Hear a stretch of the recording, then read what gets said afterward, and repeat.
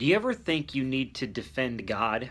Like somehow God's name and God's image is going to be made fun of or mocked by someone and you need to just kind of take up for God? The Bible says, Be not deceived, God is not mocked. Whatever a man sows, that shall he also reap. Look at how this plays out in 1 Samuel chapter 5.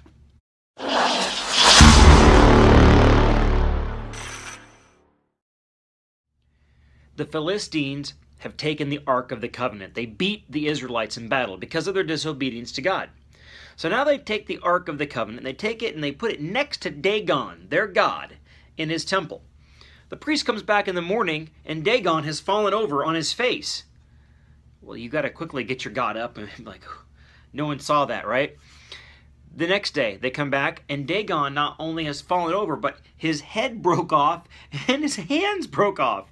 Now you have to glue your God back together.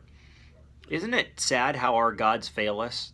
Any other God other than God Almighty, Jehovah God, is going to fail you. You're going to be piecing it back together, whether it's a uh, whatever it is, financial or relational, whatever whatever thing you put in your life that's God.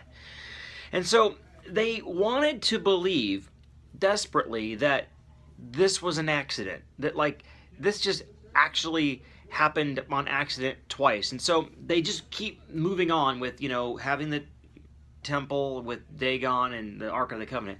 So God allows tumors to form, the Bible says. Now, these tumors in the, the Hebrew are actually more like hemorrhoids that are bleeding with, with dysentery.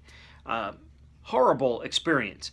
And uh, pretty soon, the people of Ashdod are like, we can't live like this anymore. We got to get rid of the Ark of the Covenant. So they decide instead of submitting to God, instead of humbling themselves before God, to send it to Gath, another Philistine city. So the, the Gathites get the Ark of the Covenant, and they realize very quickly, now we got the tumors, uh, which was really the hemorrhoids and the bleeding and the nastiness. And so after a while, they're like, you know what? Send it to Ekron, which was another Philistine city. And then these men start dying and they get the tumors. And these these guys are like, you know what? No way. Okay, this goes back to Israel because we're tired of it.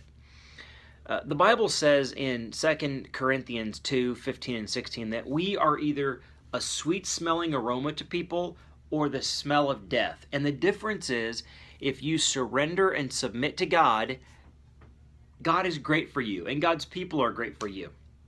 But if you don't surrender your life and don't submit to God on a daily basis, God's glory is not going to depart. That's what we learned in the last chapter was that this woman says, Ichabod, God's glory is depart from Israel. God, God's glory never departs from anything. God will glorify himself with or without you and me. The question is, will we today submit our will and surrender to Christ.